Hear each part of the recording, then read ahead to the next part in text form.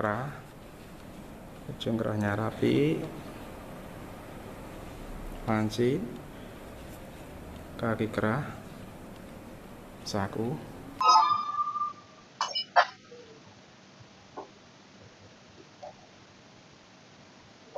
Selanjutnya kita pressing eh, yang perlu kita press itu adalah kain keras yang akan kita gunakan untuk kerah ini lebih mudah langkah ini daripada kita motong bahannya terlebih dahulu baru kita ngepaske bahan kain keras. Ini nanti kita tinggal motong atau ngepaske motif juga lebih pas dengan teknik ini lebih gampang. Cara ngepresnya sebelum ini benar-benar nempel tidak boleh digosok-gosok. Harus plug plug ini kalau memang sudah nempel baru boleh digosok kayak ini.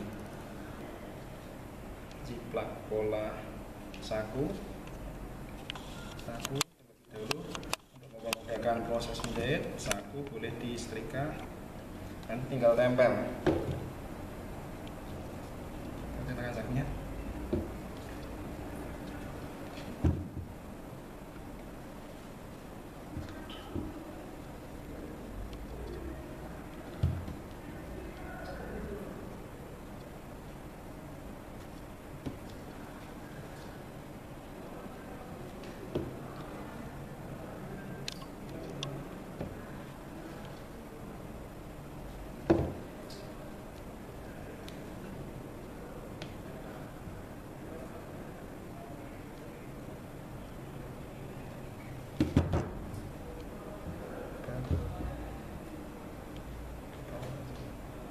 kaki kerah saya menggunakan variasi ini.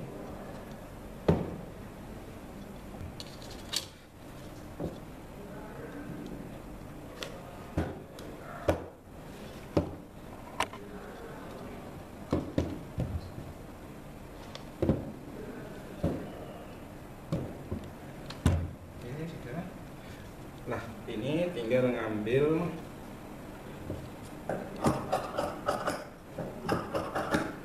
yang bawah sini kita ambil pas karena tadi sudah ditambahkan dengan kampo di kain keras.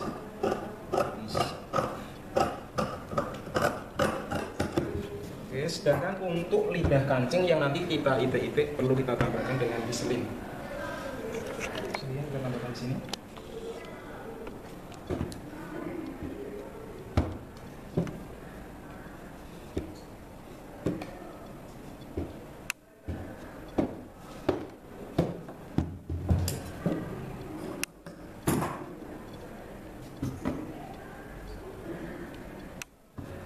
Untuk memudahkan proses boleh sekalian dilipat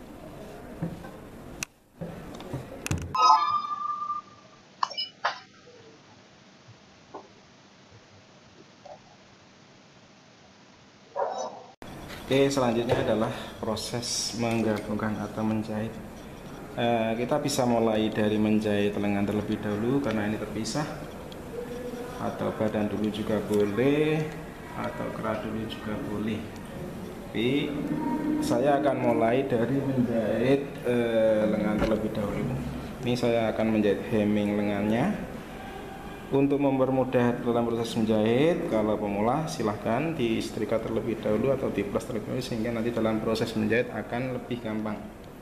Oke, kita mulai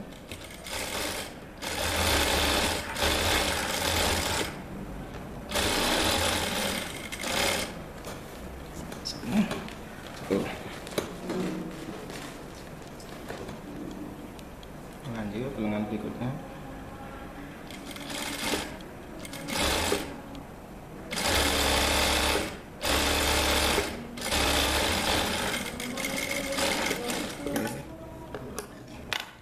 kita sambung sisinya terlebih dahulu. Sehingga nanti dalam proses pemasangan dengan badan adalah model sistem kelontong. Yang ini harus dikunci mati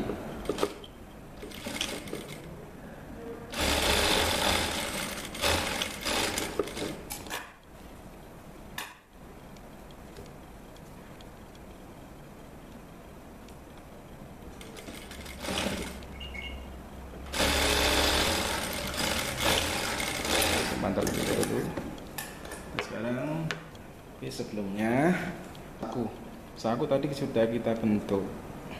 Kita tinggal tempel jahit. Bisa dibantu dengan jarum pentul seperti ini. Tapi untuk memulai jahit harus ada penguncian pada saku.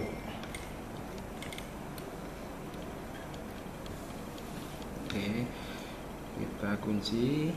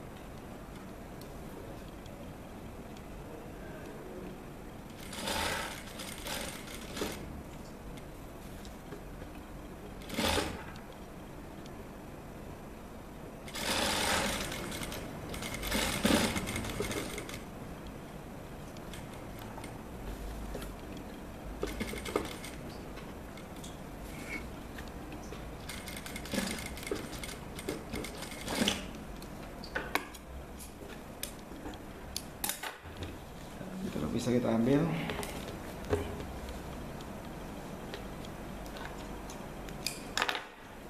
Langkah selanjutnya karena sisi sudah nyambung kita tinggal jahit bagian bahu posisi baik ketemu eh, buruk ketemu buruk baik bagian baik luar karena di bahu akan kita buat stick balik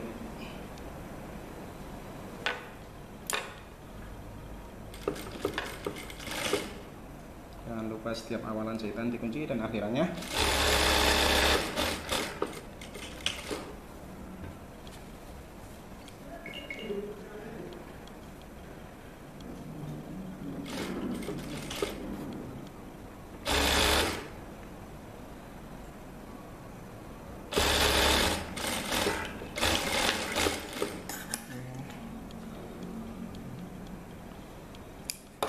balik untuk mendapatkan stick balikan.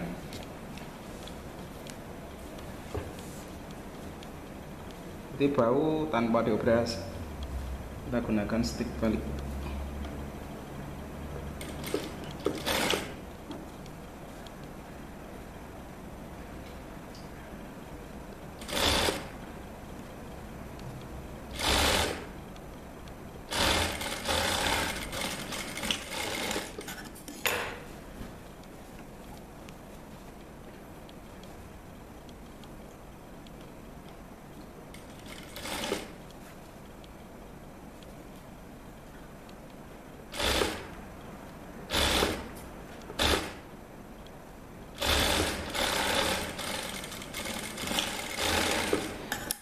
Oke, waktu kita potong tadi di bagian sisi itu kan sudah kita tanda.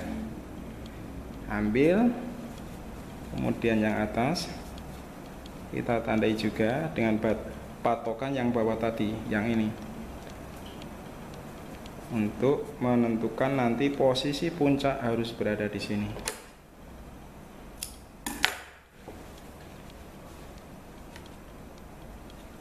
sama sebelah kanan kiri juga kita tandai jadi waktu memasang lengan harus benar-benar puncak berada di atas. Sambungan bawah berada di sisi ini yang sudah kita tandai tadi.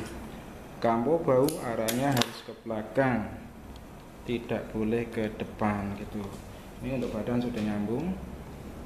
Bagian bawah kalau mau kita jahit juga boleh. Dengan hanya melipat kayak gini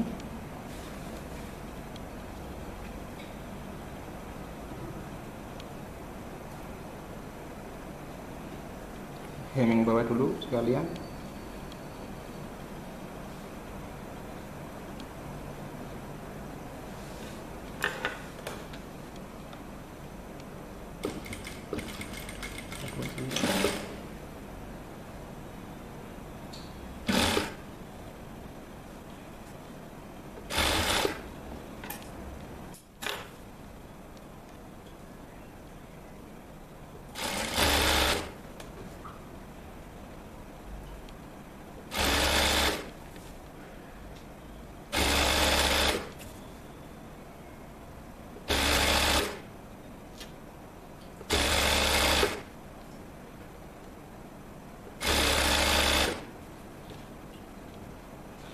jangan lupa lipatan di depan harus ikut terjahit juga.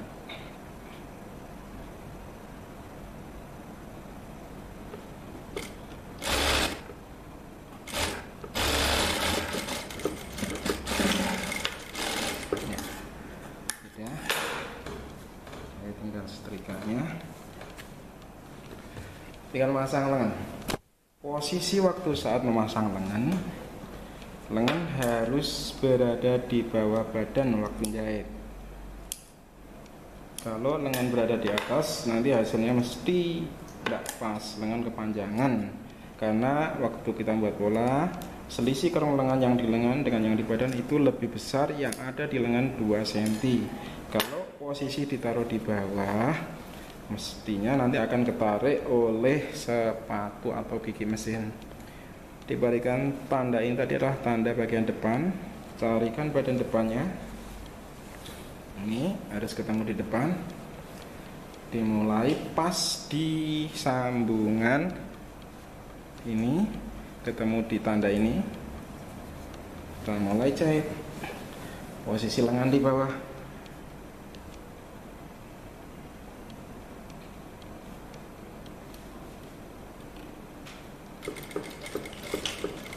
tanpa ada telujur selisih 2 cm posisi lengan di bawah insya Allah nanti akan pas. Dengan kampuh maksimal 1 cm tidak boleh lebih. Kalau lebih mesti hasilnya meleset.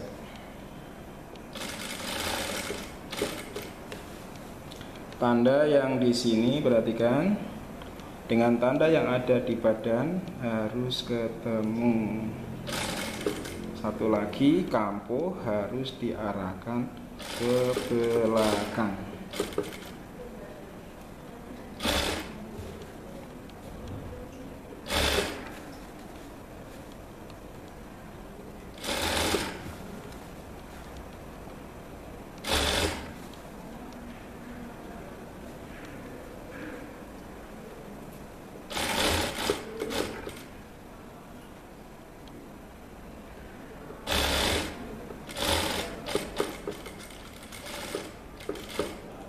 ini jahitnya jangan direblaskan ke sini karena ini masih ada kampu yang belum diobras. Hasil sementara seperti ini. Pas. Ini namanya pemasangan lengan kelontong. Ini dijahit sendiri ini harusnya dijahit sendiri terus baru pasang lengan. Jangan lupa dibalik yang baik ketemu baik. Dimulai dari tanda bagian sisi badan yang sudah kita centang tadi kita cekrip kita ketemukan dengan sambungan bawah lengan. Kita mulai menjahit.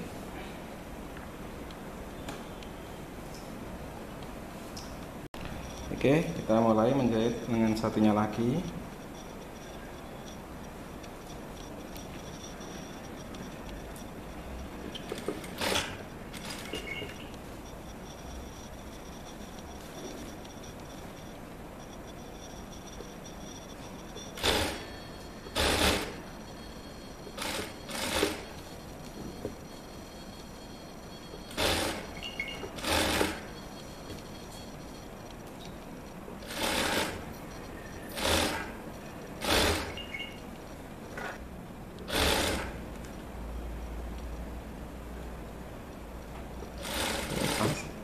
tidak bisa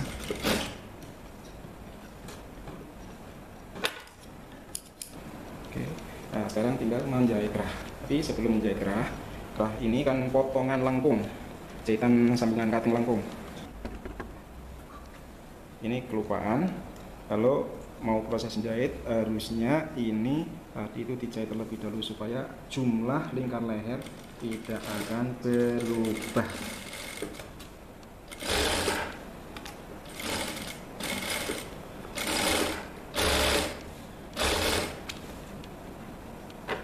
sambil mengunci kampus supaya ke arah belakang. Jangan langsung dibarengkan dengan memasang kerah biasanya akan masuk ke depan ke belakang gitu.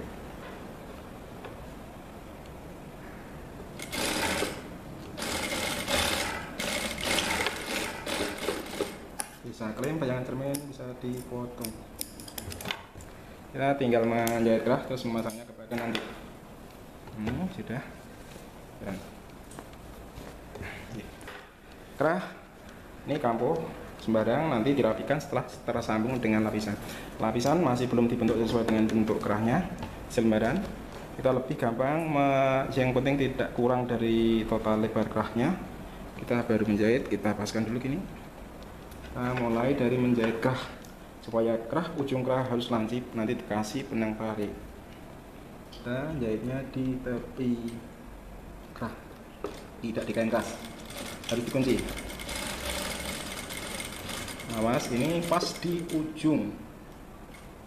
Tidak boleh lebih. Ambil benang tarikan yang tadi yang sudah kita siapkan.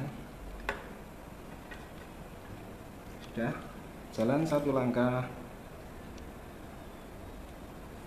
Ambil dua ujungnya sana dan dipilin masukkan ke dalam.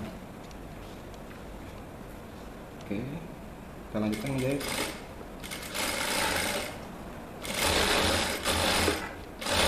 jarak dari kain keras kira-kira satu mili. Saya setikannya ini.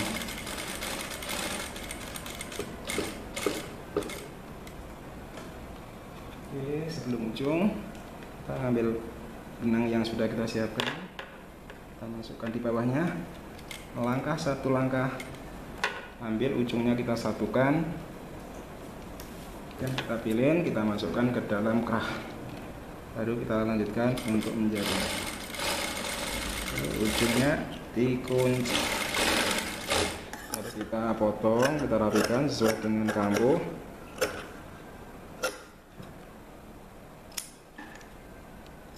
Perlu ada potongannya juga ya gini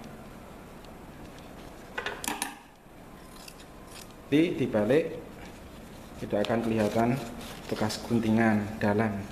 Kita tarik klik sudah ujungnya sudah lancip coba kita tarik lagi. Ambil benang tarikannya. Oke kalau sudah kita tinggal jahit ujung kerah. Ini kalau jahit kerah bagian luar tidak boleh ada yang licek benang putus harus didedel. Tidak boleh loncat ikan harus seimbang atas bawah boleh di tepi atau di tengah satu sepatu itu juga boleh.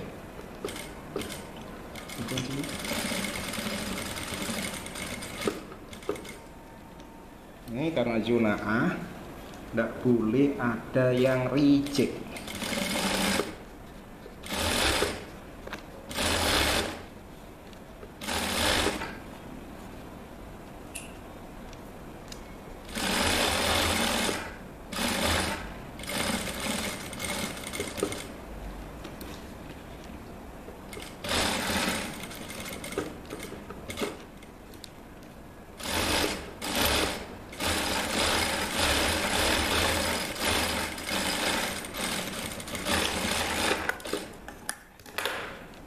yang tadi kan sudah tidak terpakai kita tarik kita buang.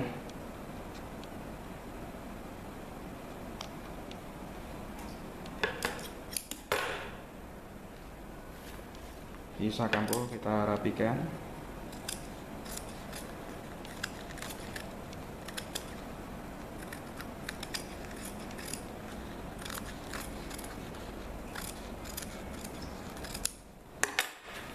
jangan lupa ditandai tengah-tengahnya. Lebar daun kerah harus sama. Di zona A tidak boleh ada yang menceng tidak boleh ada yang tidak pas harus ini nanti untuk ketemunya tengah belakang persis. Sekarang kita buat kaki kerahnya. Ini kaki kerah saya variasi dengan warna biru dongker. Tapi daripada saya mengganti benang biarinlah saya pakai benang yang sama ikan yang pertama satu sepatu dari tepi untuk mengunci campur yang bawah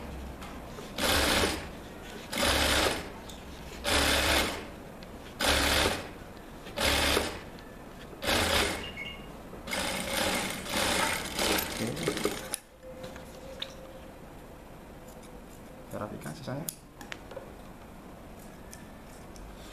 Ini juga sudah kita tandai kita pakai yang ini juga.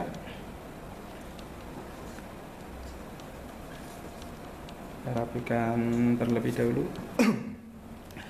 Oke untuk yang ini yang ada kain kerasnya harus ketemu yang ada kain kerasnya. Ini harus diketemukan taruh di sini. Makanya saya pilih ini tidak saya potong dulu. Saya lebih bebas untuk mengerjakan daripada sudah terpotong sudah saya potong sesuai dengan pola. Oke saya bisa kalau enggak mau ribet dan mau salah boleh dimulai dari tengah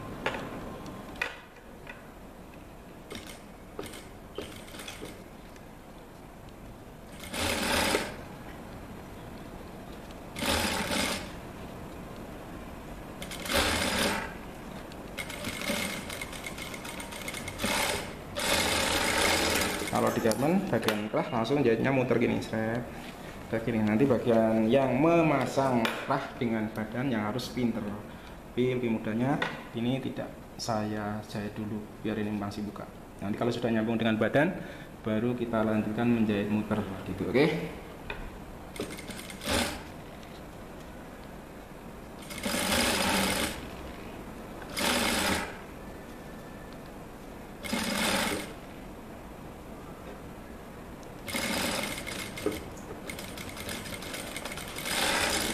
Sekarang eh, lapisan kaki kerah kita potong supaya sesuai dengan kaki kerahnya, sisanya kita potong juga. Lalu di sini saya eh, potong sesuai dengan kaki kerah dengan cara menandai dengan kartu.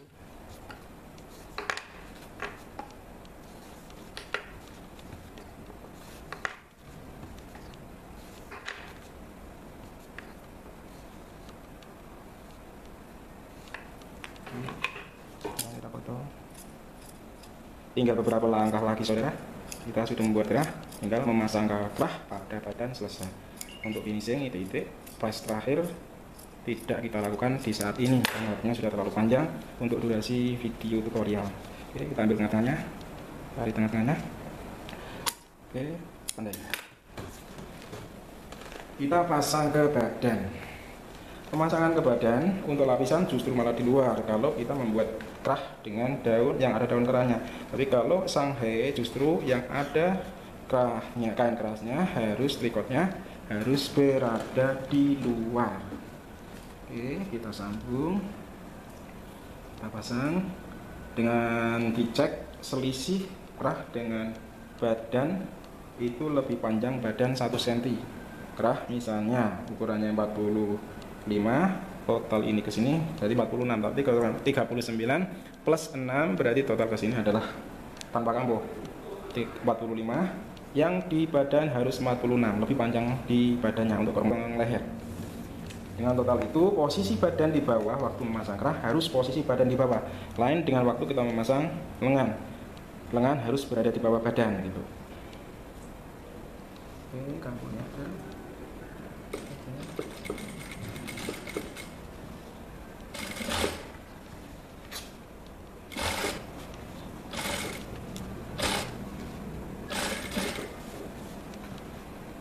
anda tengah apa sih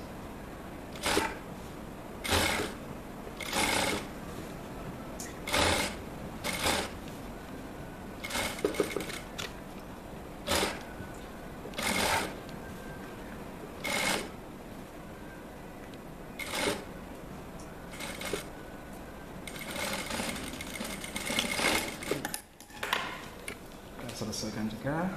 Nah ini baru kita jahit eh, langkungan kerah kaki kerahnya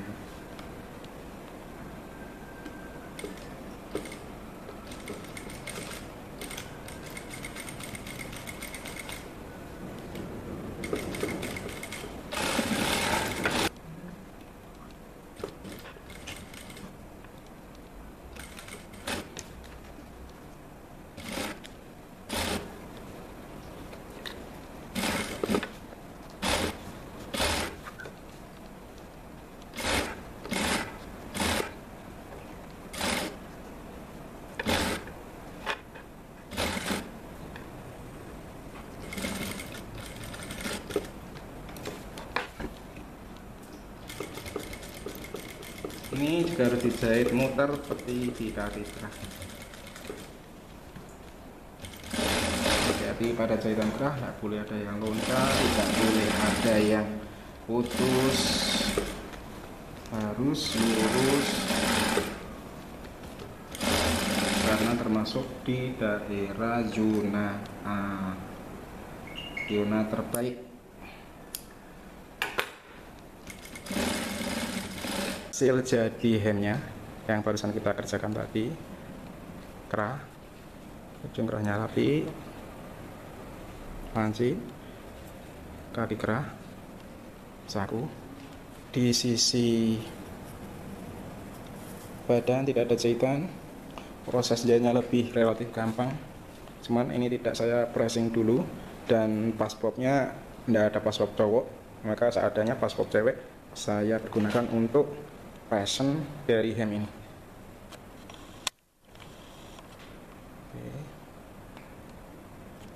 ukuran L ukuran saya sendiri ini